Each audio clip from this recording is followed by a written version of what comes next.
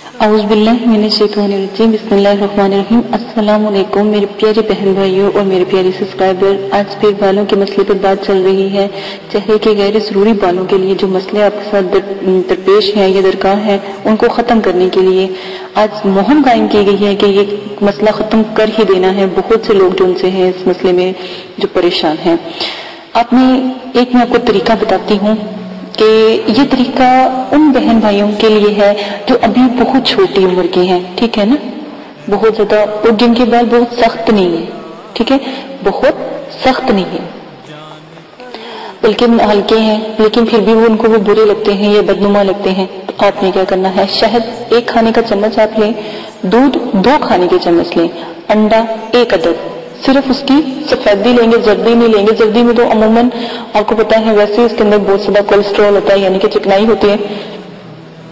اس چیز سے آپ پرہیز کریں گے، وہ چیز آپ نہیں لیں گے۔ تینوں اجزاء کو اچھی طرح مکس کر کے ایک پیسٹ بنا لیں گے، جیسے ایک ماسک ہوتا ہے وہ بنا لیں گے، ٹھیک ہے؟ اور چہرے پر آدھے گھنٹے تک لگا رہنے دیں گے۔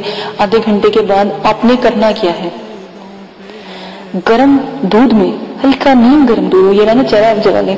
آپ نے ہلکا نیم گرم دودھ بھی ساتھ رکھ لینا ہے، اس میں روئی کو بھی ٹھیک ہے؟ اور اس کی مدد سے اوپر سے نیچے کی جانب۔ ٹھیک ہے؟ اوپر سے نیچے کی جانب ماسک کو اتارنا شروع کریں تو وہ جتنے بھی آپ کے بال ہوں گے وہ جھڑ جائیں گے۔ بجائے وہ آپ کو کھیڑنے نہیں پڑیں گے، ٹھیک ہے؟ نیم گرم پانی سے چہرہ دھو لیں گے، ہفتے میں صرف دو مرتبہ کریں۔ تو چہرے کے جتنے بھی جو بال ہیں وہ ختم ہو جایا کریں گے۔ تو انشاءاللہ دیکھیے گا کتنی جلدی فرق پڑتا ہے۔ بہت نیا ٹپس ہے، ضرور کیجیے گا، اجازت دیجیے گا، اپنا خیال رکھیے گا۔ چہرے کے بالوں کے مسئلے کے اوپر یہ بات آج کل چل رہی ہے۔ تو امید کرتی ہوں کہ مدرسے والوں کی یہ باتیں بھی آپ کو سمجھ آ جائیں گی۔ اجازت دے اللہ حافظ۔